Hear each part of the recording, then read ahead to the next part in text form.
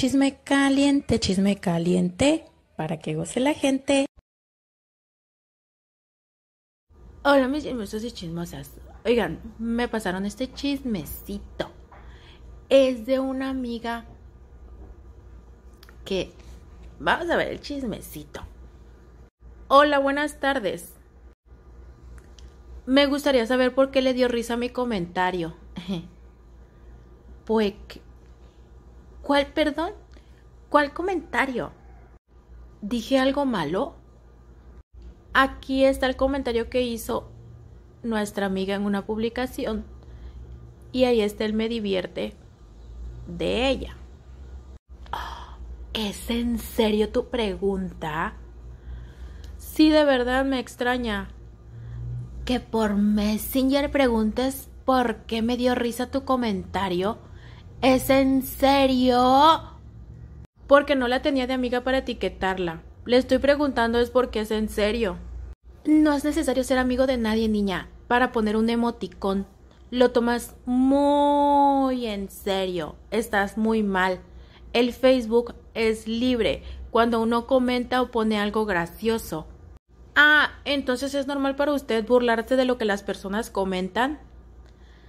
Tu sobrepasado límite de tolerancia. Ay, no se le entiende. A ti menos. ¿Sobrepasado? Creo que no entendió mi pregunta.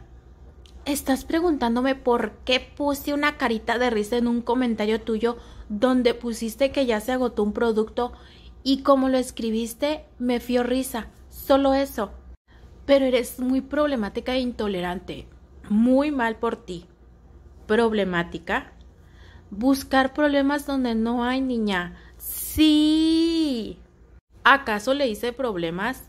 Sí, aquí. Ni le he hablado mal ni ofendido. Por este medio. Fue una pregunta. Estás preguntando incoherencias. Esta sal. ¿Es una incidencia preguntar el por qué? Imagínate que cada uno de nosotros preguntara a las cientos de personas que por qué nos ponen un emoticón. Nombre enferma. Ya te contesté que por qué me pareció gracioso.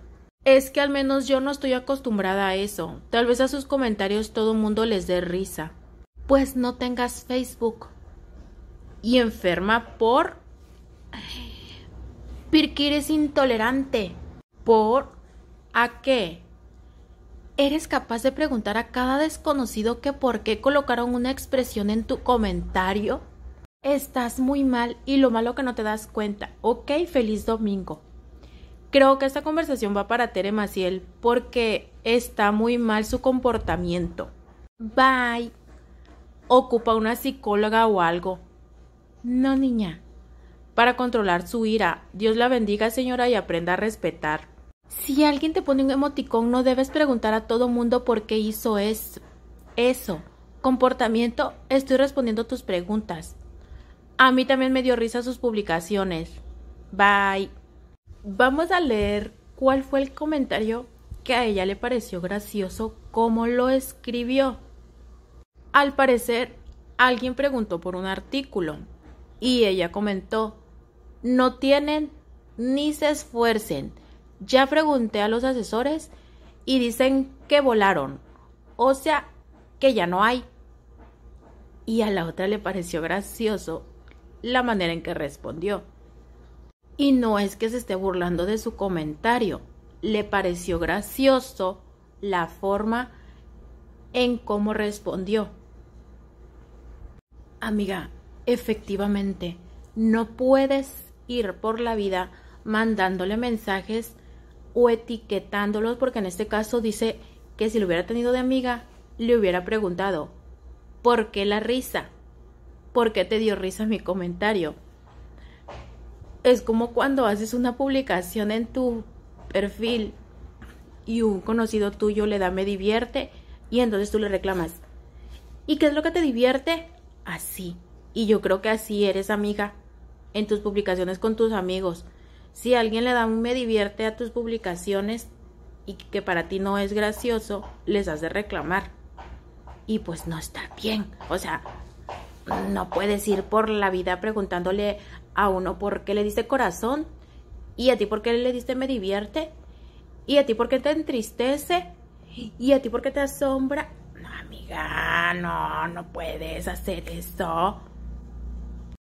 O sea, la chica no se está burlando de ti, no se está burlando de tu comentario.